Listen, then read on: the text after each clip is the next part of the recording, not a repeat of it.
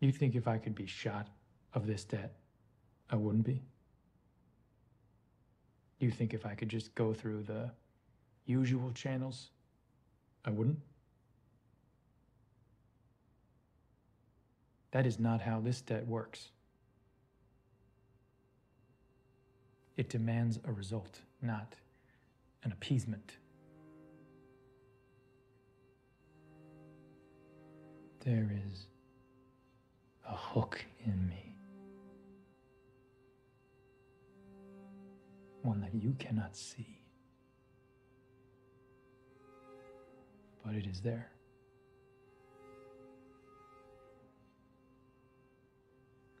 And you think I have a choice?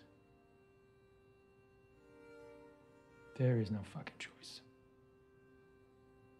I am going to get that man and his family out of the position that we put him in.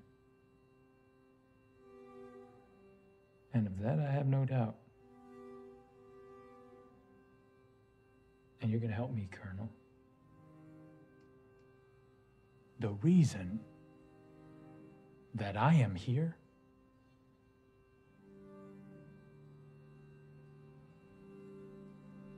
I saved your life eight years ago. So you're going to get those visas. I don't know how, but you're going to get them. Because I know you are the type of man that pays his debts.